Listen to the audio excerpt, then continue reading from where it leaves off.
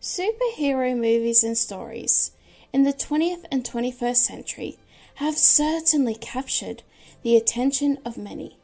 The Marvel Cinematic Universe, as well as Christopher Nolan's Dark Knight trilogy, speak to the desire many Americans and others have towards superheroes.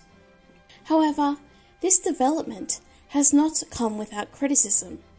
The superhero figure is not a mere warrior, but also a protector of people, institutions, and nations. Due to the American nature of the superhero genre, this is interpreted as protecting American interest groups and government bodies. The ramifications of this are immense.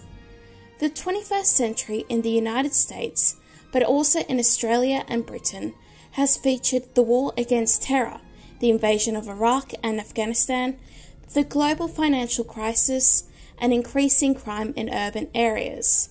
In response, many Anglo protest movements have sought to oppose these developments, such as Occupy Wall Street, WikiLeaks, and general activism against capitalism and student loans. Therefore, it comes at no surprise that many see the contemporary superhero as complicit in these economic and political issues. This criticism I find to be particularly prominent on the left, with video essayists such as Pop Culture Detective and Second Thoughts taking to task the glorification of American military power and the economic inconsistencies throughout the United States. Personally, I welcome this. Not because I share their political position, which I don't, but because I too share their concerns. However, I disagree with the common stance coming from left wing spaces about superhero stories. There's an emphasis on superheroes defending the status quo, an approach disliked by many leftists.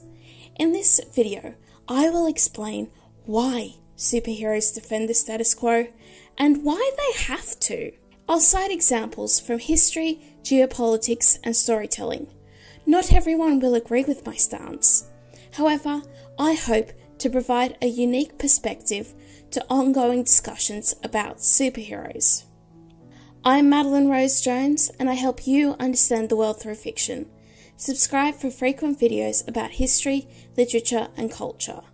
Welcome to Snowy Fictions. Argument 1 Superheroes have no right to change the status quo.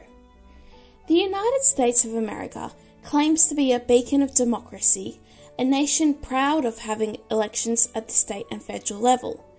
Within the wider Anglosphere, there is a strong legal tradition of individualism and human rights. One is obviously the right to vote. The current mode and philosophy of democracy in the United States is not without controversy. However, it's the system most superheroes work in. The Anglosphere deserves a special note, as these countries truly do value freedom and liberty. We don't take kindly to cruel dictators like Stalin and are happy to bring attention to human rights concerns in Afghanistan and Syria.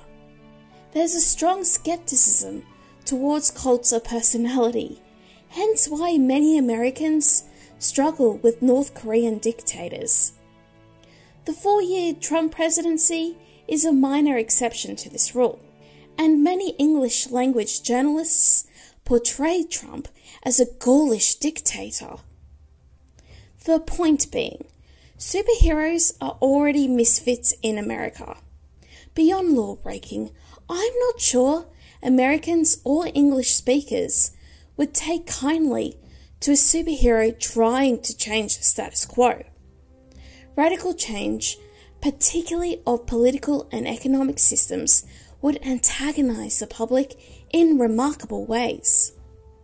This is made even more complicated when superheroes are anonymous or are not bound by consequences. In fact, Part of the appeal of Iron Man or Batman was their refusal to adhere to legal codes of the day.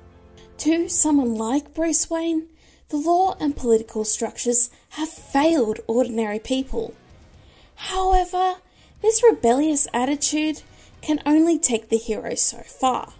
I don't see a scenario where it is morally desirable for superheroes to radically change the status quo. I imagine if such a universe where a superhero population existed, there would be public debates over the limits of power, not too similar from the fate inflicted onto monarchs and churches. Overall, Americans like democracy and want to feel in charge of their fate. Superheroes are perilous to this idea. To those who desire radical and revolutionary superheroes, I'm interested in the emphasis you place on democracy and the social contract. Because to me, there's nothing democratic about superheroes. Their mere existence challenges left wing notions on equality, too. Hardly any human can match the intelligence and wealth of Tony Stark. Likewise, Spider Man's physical abilities give a sophisticated edge to anything he does. In terms of raw power, superheroes can crush ordinary humans and inflict their will. To badly paraphrase Stalin, superheroes are the engineers of both the tank and the human soul. The fact superheroes are mostly disinterested in changing the status quo is a relief to those living in these fictional universes. Argument 2 The Monstrous Risks. Change is unpredictable. No single man or woman has complete control over it. Whilst Hollywood certainly loves its mastermind plots and scheming villains, the narrative arc of history explores these limitations. For example, Karl Marx had a certain vision of communism, yet their implementation and overall success of these ideas differed. This is widely true for intellectual, religious, and political history. It's all very good to have weapons and very strong and sophisticated ideas, but this doesn't mean they will succeed especially during the unpredictable theatres of war. A superhero can only mitigate these risks so much. To change the status quo would risk a huge backlash. One key point of the Marvel Cinematic Universe was the emphasis on diplomacy and international relations, particularly seen in the Captain America movies. Here, audiences are exposed to the fragile machinery of international law and politics. It's certainly delicate, and I question whether it is wise for superheroes to meddle in it too much. In many ways, superheroes challenge our core beliefs about World War II governance, which alluded to the possibility of global cooperation. This dream at least in Western Europe and the Anglosphere, was strengthened by the fall of the Berlin Wall and the Soviet Union. Superheroes are certainly blunt in their approaches and methods. To me, this challenges core tenets of diplomacy. Quite interestingly, superheroes reveal the flaws in this world order. For one, international bodies such as the United Nations, are quite powerless and can get hijacked by bad actors. 2. The need for hard power is necessary to end conflict. Where superheroes diverge from radical political philosophies on the left and the right is that they have more faith in these systems. Hydra, as seen in the Marvel Cinematic Universe, is portrayed as a ghastly and subversive force which invaded the honourable Atlantic institutions. A superhero must fight Hydra, but ultimately there's little to address the weak ideologies and structures which allowed Hydra to initially succeed. Heroes don't do this for two reasons. A, they don't know how, and B, it's too risky regarding geopolitical backlash and further escalation and more importantly, it's not their job. The American superhero was always about heart and physical power. They are good for maintaining structures and ideas or enforcing them onto others, but not to develop and build them from nothing. This limitation also explains why superheroes stick to the status quo, as really it's the only thing they know. Argument 3 Human Nature. So often in political discourse, especially from left wingers, there's an emphasis on systemic problems. This can range from poverty to crime and to social relations between different groups. To many in the left, systematic problems are embedded into our daily life and are found in schools, workplaces, the police force, entertainment, and the political sphere. However, I ultimately diverge from this thought here, as I'd argue human nature has built these systems. It is difficult to see humanity as capable of not creating or engaging in systematic problems. Practices of decolonization and anti racism would require ongoing work which simply never finishes. This is made complicated when humans are not created equal. For example, men will always be physically stronger than women. Therefore, the military and associated armed forces will have a masculine characteristics. We know humans are fond of hierarchical structures and societies. Whilst I encourage discussion about discrimination and unfairness, we must accept these core tenets of human nature and seek to minimize evil. That said, changing nations for the better often does require systematic change, but I doubt whether superheroes are suitable for that task. The point is to work with these systems, not to abolish or radically change them. It's best for superheroes to not engage in changing systematic inequalities because they frequently require long term solutions, debate, and working with communities, many which have varying perspectives. As you can see, this demands an excellent grasp on cultural awareness and diplomacy, which superheroes may not have. Argument 4 Benevolence Matters. All of this leaves the superhero limited in the change he or she can enforce. Superheroes save the world, they don't necessarily change it. That's partially why there's an emphasis on benevolence or small acts of charity.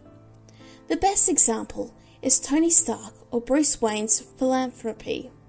A small community based NGO may enjoy donations and their support, yet they won't achieve their ultimate goals regarding systemic change.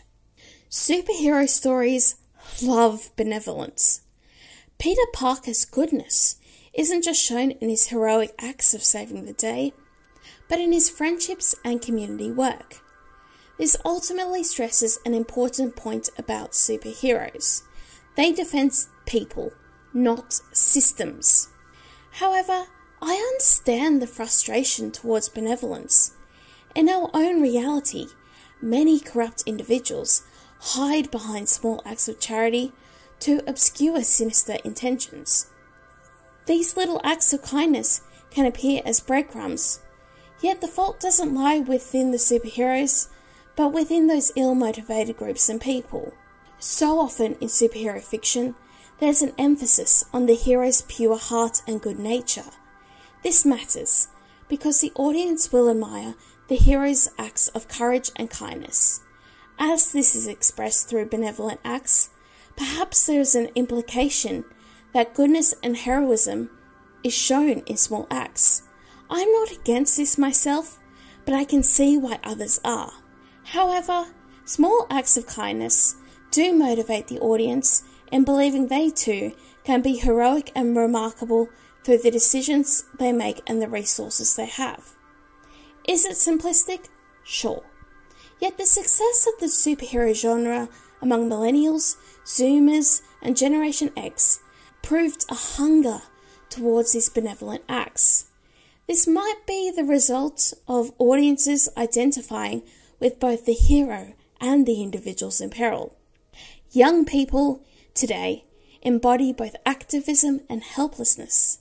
Whether this is a wise is another discussion, but it is understandable for a well educated demographic with limited economic power. Finally, I must address villains. Typically, in English language storytelling, villains are far more revolutionary and radical than their heroic opponents. This was certainly the case in Black Panther and The Dark Knight Rises. In contrast, the heroes are more tepid and restrained in their approach, preferring non violent solutions and not engaging in political concerns. I understand those who bemoan this. However, I must emphasize storytelling structure. Both The Hero's Journey and Save the Cat, as promoted by Joseph Campbell and Blake Snyder, are conservative in their restrained approach to politics. For the hero to save the day and themselves, they must embark on a journey of internal self discovery. Here, the attention is shifted away from the environment and setting and towards the character's flaws and false beliefs they must overcome. Superhero stories offer little space for the political reflection leftists desire. When the Marvel Cinematic Universe does delve into politics, the end result is awkward storytelling, where the film is too ironic and insincere for the messages many are hungry for. Thus, superhero films will always imply any radical change is catastrophic because there's little incentive to diverge from this. The conflation between change and catastrophe is frustrating, but it's certainly present in much, if not all, of genre fiction. This raises an urgent question for left wingers. Is the superhero genre suitable to explore and promote their worldview? I just don't see an escape from the archetypical nature of superhero or fantasy fiction. Nor should we. There's a reason why these stories have resonated throughout generations. The pioneers of political fiction, such as Aldous Huxley, Margaret Atwood, George Orwell, and Michel Houellebecq, rarely use Save the Cat or The Hero's Journey. Again, while I don't share the politics of Second Thoughts or pop culture detective, I do sympathise with their alienation regarding blockbuster media. Thank you for watching. If you'd like, please subscribe. Perhaps you'd like to consider my classes on creative writing linked below. I'll see you soon. Thanks again for watching.